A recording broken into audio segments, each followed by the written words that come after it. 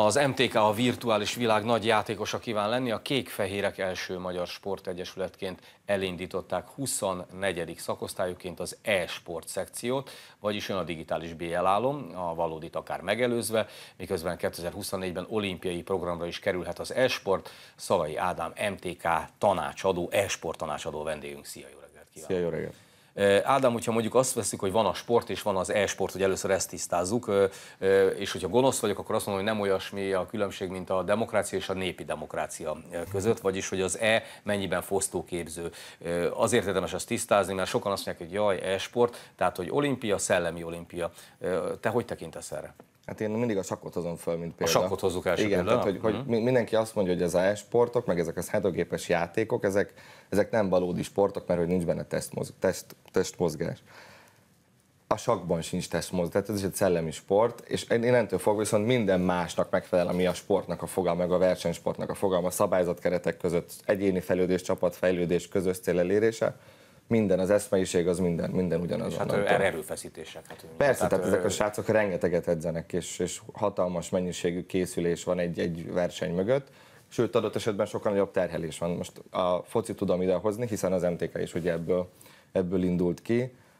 Egy, egy átlagos focista, nem tudom, egyszer-kétszer edz egy nap, nyilván attól függ, hogy melyik nap, meg vannak pihenőnapok. Na most egy e-sportolónál a mai világban folyamatos terhelés van hétközben. Ez azt jelenti, hogy durván mondjuk reggel föl kell, megreggeliznek együtt, megbeszéljük a napi stratégiát, és olyan 10-11 óra környékén elkezdenek együtt edzeni, és leülnek kompetitíven verseny, versenyre előkészülni, estig addig csak gyakorolnak, este. Beadnak egy doboz pizzát, meg, meg nem, a, nagyon, tehát nem, nem, nem junk foodom, nem, nem, tehát, nem, nem, nem, nem, tehát abszolút, a, tehát hmm. van ez a sztereotípia a gamerekről, hogy valaki kövér, büdös, nem, nem, nem csajozik. Nem tehát, jön ki onnan tehát, nem, nem, ezek a, a srácok tényleg, ne, nem azt mondom, de mindenhol van ugye adott esetben kicsit molettebb, vagy, vagy duci, duci tehát nem ez a lényeg, hanem az, hogy ők tényleg egy profi étrenden vannak, személyi edzőjük vannak, pszichológusaik vannak ahhoz, hogy ezt a terhelést el tudják viselni.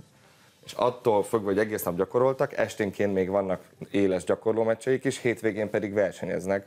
Sokkal többször kell pszichológiailag is ott lenni a fejben és fókuszálni a maximumon, mint adott esetben egy igazi sportoló. Egy, egy igazi fizikai erőkifejtést ö, hajszoló sportoló. Na most, azt mondják, hogy ha egy e-sport szakosztályt nézzünk, akkor annyiféle videójáték van, és annyiféle ilyen digitális játék van, hogy szerinted ott meghúzható, definiálható a kör, ami egy sportszakosztályba belefér, mert ami nem, tehát mondjuk az ilyen, ilyen harci játékok, ölős játékok, elfoglalós, partaszálós játékok. Oké. Okay és az, ami a sport magat, a virtuális verziója, ahogy ti, ti elindultatok a focival, meddig bővíthető? Ezt a sportszakosztálynak a létrehozója döntheti el, hogy ő milyen játékokat fog majd bevenni ebbe a szakosztályba, és melyiket nem adja, akár a saját brandjéhez, mert nem passzol hozzá. Uh-huh.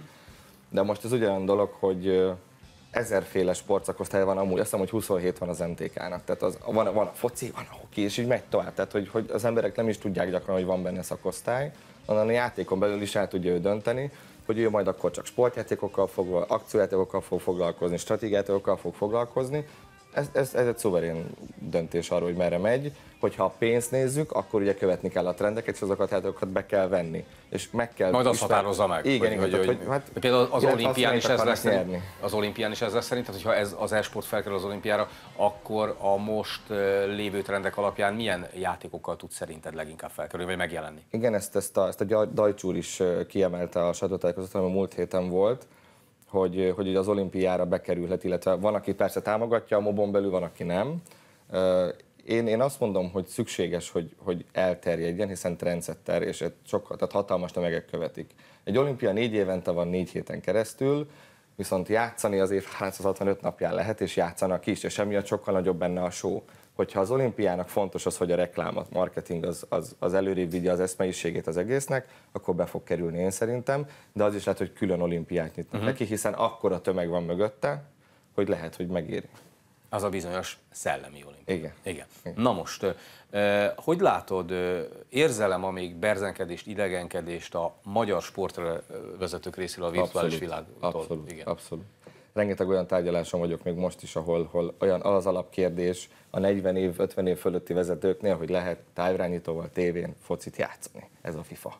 Tehát, hogy, hogy innen indulunk nagy gyakran, holott a fiatalabb korosztály, az Y meg az Z generációnak ez most már evidens, hogy én kijelzőn fogok valamilyen játékkal játszani. Most, hogy éppen sportjátékkal, foci játékkal, Magyarország egy foci nemzet. Tehát szerintem tök logikus döntés az, hogyha valaki ma e-sport indít valamilyen márka égisze alatt, akkor a focit vegye be, hiszen marha egyszerű ezen keresztül elmagyarázni nem hozzáértőnek, hogy mi is az, hogy FIFA, mi is az, hogy virtuális sport, és hogyha az a FIFA-n keresztül egy. A népszerűsítés a focin keresztül legegyszerűbb. Abszolút. Most, én ezt, ezt Most. így van. Igen, ugye, így is tettetek. Igen. Mikor fognak követni mások titeket? Ismered a piacot, látod, mekkora lesz a mozgolódás, mekkora a potenciális piac Magyarországon, ugye 200-250 ezer ember játszik. Ez volt egy tavalyi kutatás, én ettől azért többre teszem. Hol Tehát, vagyunk most? Én szerintem hogy egy millió körül már vagyunk. Egy millió körül igen, vagyunk? Igen, de Így- így robban a benne van. piac? Tehát ebben benne van az anyukám, aki otthon falvélezik, meg benne Aha. vannak a fiatal kollégáimnak van egy-két éves gyerek, akik az iPad-en már jobban játszik Fruit Ninja-t, mint én. Tehát, hogy, hogy már, már ez a, nagyon kibővült ez a skála, és ebbe tényleg mindenki beletartozik, ez nagyon fontos. Az tény, hogy egy ilyen core gamer maga, amit te is mondtad, olyan 250 ezer, 300 ezerre tehető. Vannak ugye nagyon sok rendezvények, amik ugye Magyarországon meg vannak tartva, és látszik, hogy ezek az emberek megmutatják magukat, lemennek és szocializálódnak, és nagyon sok, tehát, és, nem, és folyton nem kicserélődik, hanem, hanem bővül ez a, ez a, ez a tömeg. És, és hát az, hogy ki fog ebbe belépni, arról vannak, vannak zárójeles titkos információim, nyilván fogják követni nagy klubok még az MTK-t, illetve ugye már a, a, a Diós Győr is ugye ugye jelezte, hogy ő is szeretne ebben, ebben részt venni, és ő is tett már erre utaló bejelentéseket, meg volt egy válogatójuk is.